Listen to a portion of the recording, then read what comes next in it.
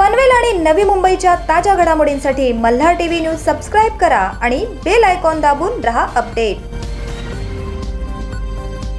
पर्यावरणपूरक गणेशोत्सवाकडे भक्तांचा कल वाढत असल्याने शाडूच्या मूर्तींची मागणी दरवर्षी वाढतच आहे. त्यातूनच कुंभारवाड्यातील मूर्तिकारांनी शाडूच्या मूर्ती तयार करण्यासाठी लगबग वाढवली आहे. पनवेलच्या कुंभारवाड्यात आकर्षक आणि सुबक शाडूच्या मूर्ती मिळत असतात. या मूर्तींचे बुकिंग महिने दोन महिने आधीच होत असते. गणेशोत्सवाला अद्याप बराच कालावधी असून गणेश भक्तांनी मूर्तिकार यांना आतापासून या महोत्सवाचे वेध लागले आहेत. प्लास्टिक बंदी थर्माकोल बंदीच्या पार्श्वभूमीवर यंदाचा गणेशोत्सव तेरा सप्टेंबरपासून सुरू होत आहे. पर्यावरणाबाबत जनजागृती वाढत असल्यामुळे गणेश भक्तांचा कल प्लास्टर ऑफ पॅरिसच्या मूर्तींऐवजी शाडूच्या मूर्तींची प्रतिष्ठापना करण्याकडे वाढलाय. त्यातूनच पनवेलच्या कुंभारवाड्यात शाडूच्या मूर्ती तयार करण्याची लगबग वाढली आहे. कच्च्या मालाची कमतरता जागा नसणे यामुळे शाडूच्या मूर्ती तयार करण्याचे प्रमाण सातत्याने कमी होत आहे.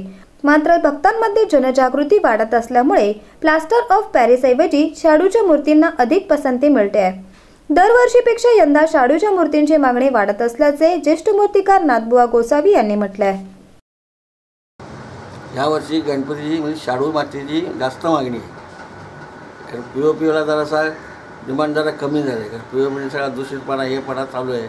त्यामुळे प्लास्टरचा गणपती कोण घ्यायला मागत नाही पण जास्त मातीला आढळ आहे. करणारे फक्त किती थोडेच माणसं आहेत. तरीसुद्धा शाडू तेच पाहिजे मान गणपती बसवता माणसांना तर शाडूचीच बसवायला पाहिजे. भले छोटे घेणं असं ना ती शाडूचीच पाहिजे. हल्ली का ते आले मिळाले रेडीमेड उचलतात घेऊन जातात. त्यांनी प्रदूषण पण वाटतोय ना. जसं प्लास्टिक बंद झालं तसं पी ओ पी पण बंद करा ना मोठी.